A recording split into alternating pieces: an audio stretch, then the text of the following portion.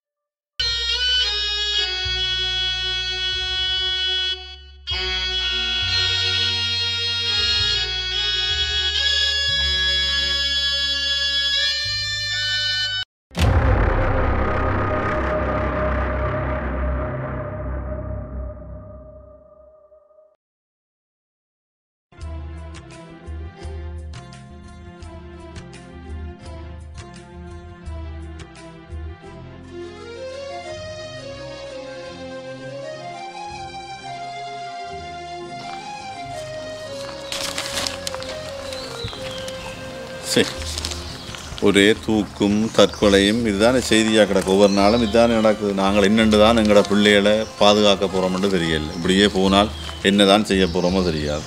ஏதோ பாப்போம்.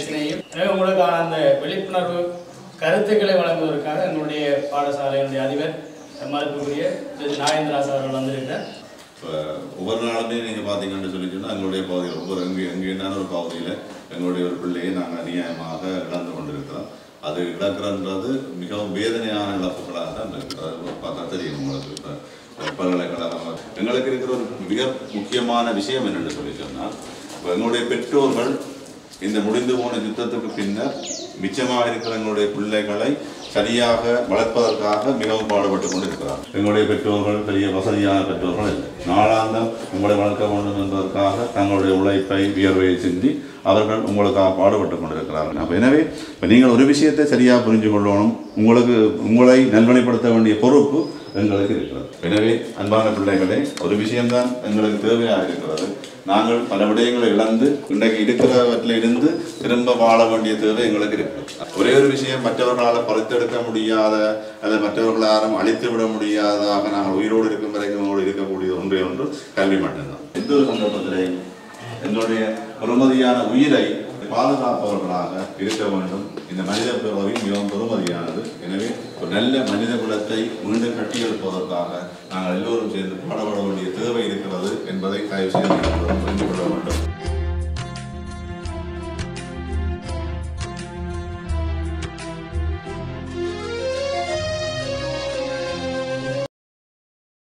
நாளைக்கு பொங்குறது கோயில் சாமான்லாம் வேண்டிட்டீங்களே.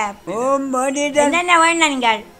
பயறு சர்க்கரை அரிசி தேங்காய் சகலதும் வேண்டியாச்சோ எல்லாம் என்னென்ன. வேணும் நீங்கள் வெயில் கொளுத்து அப்பா எங்க அம்மாலே என்ன வெயில் இருக்குது அப்பனே உடுப்ப மாத்துங்க இந்த தேத்தனி எடுப்ப மூட்டுக்கோ நான் உடுப்ப மாத்திட்டு வார்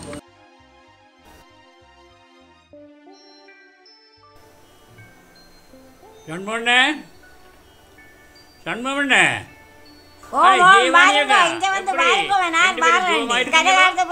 வருது. தாசா என்ன வெயிலப்பா என்ன கனகாலம் கண்டு?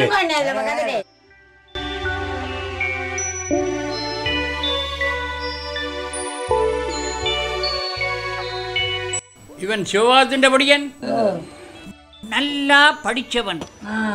நல்லா படிச்சவனப்பா. இவ்வளவு கஷ்டப்பட்டாலும். பெடியனை தகப்பன் நல்லா படிப்பிச்சவனப்பா. இப்ப அவன் என்ன செய்துட்டான் தெரியுமோ? தகப்பன் தலையில மண்ணை வாரி கொட்டி போட்டலே போவிட்டான் என்னென்ன நடந்தது? தூக்கு போட்டு செத்து போனான் புள்ள. அம்மாளாச்சி கடவுளே இந்த காலத்து பிள்ளைகளெல்லாம் இப்படித்தானே அழிஞ்சோண்டு போகுது.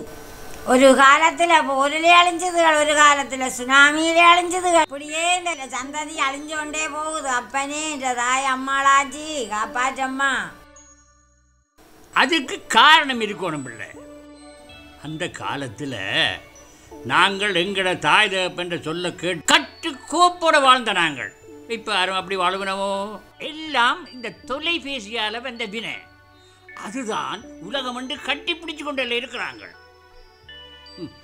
வீட்டில் தொலைக்காட்சி ஒன்று வந்து இருபத்தி நாலு மணித்தி அளவும் அதை கட்டி பிடிச்சு கொண்டு இருக்கிறாளுகள். அதால நேரத்துக்கு சாப்பாடு தார இல்லை. என்ன உலகம் அண்ணே இது? சரி இந்த இருங்கோ.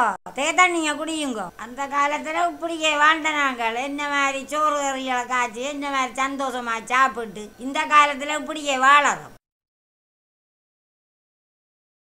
சண்முகம் ஐயோ கடவுளே நான் வந்த விஷயத்தை மறந்து போய் ஏதேதோ இல்லாமல் கதைச்சு போட்டிருக்கிறேன். நான் வந்தது என்னென்றால் என்ற பேத்தி அவளுக்கு பதினாறாம் திகதி கல்யாணம். நீங்க ரெண்டு பேரும் அன்றைக்கு மறக்காம வந்துடவும். என்னென்ன புதுக்கதை கிடைக்கிறீர்கள் நாங்கள் ரெண்டு பேரும் எங்க போகலும் ஜோடி சந்தோஷம் சந்தோஷம். நாங்கள் தனியா தனியா போக. வேற வீடுகளுக்கும் போகணும். நிச்சயமா நீங்க வந்துட வேணுமா அப்பாடா.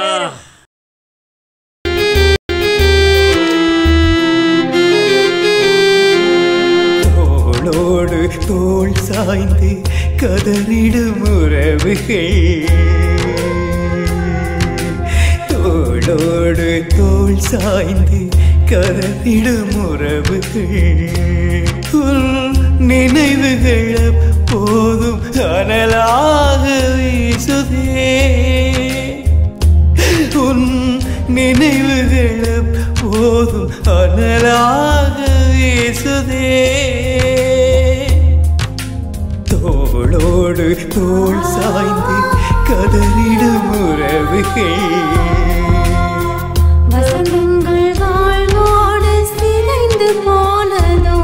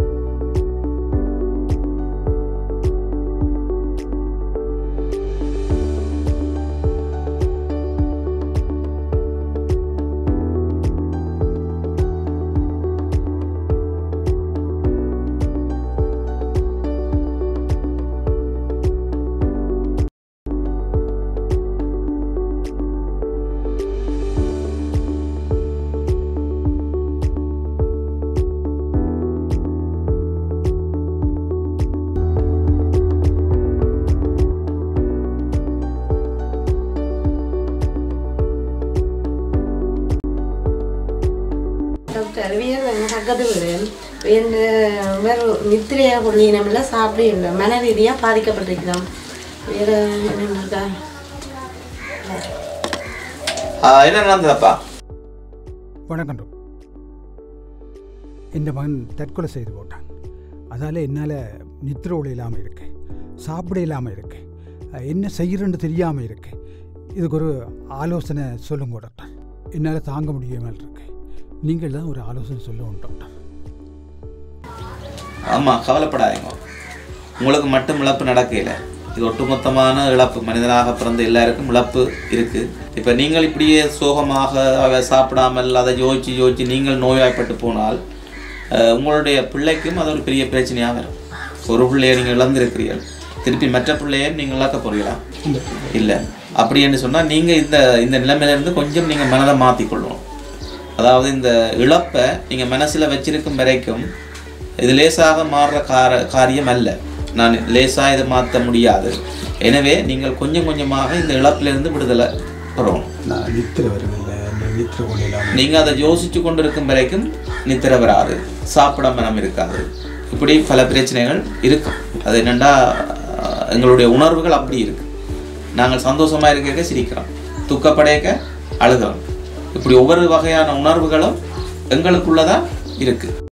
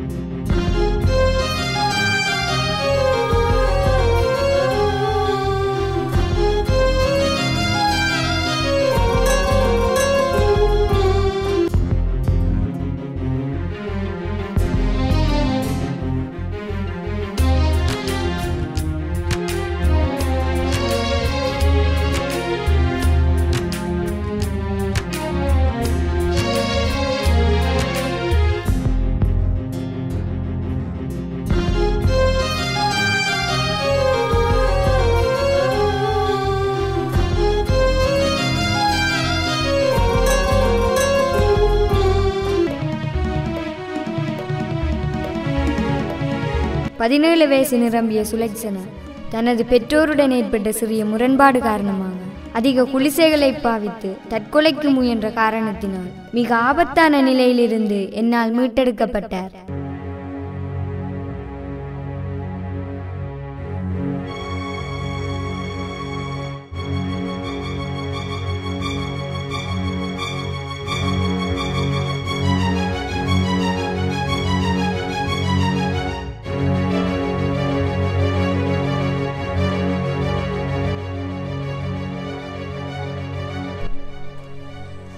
உங்கள் வாழ்க்கையில் அவசரத்தில் எடுக்கின்ற முடிவுகள் ஒவ்வொன்றும் மிக ஆபத்தானவை என்பதை மறந்து விடாதீர்கள்.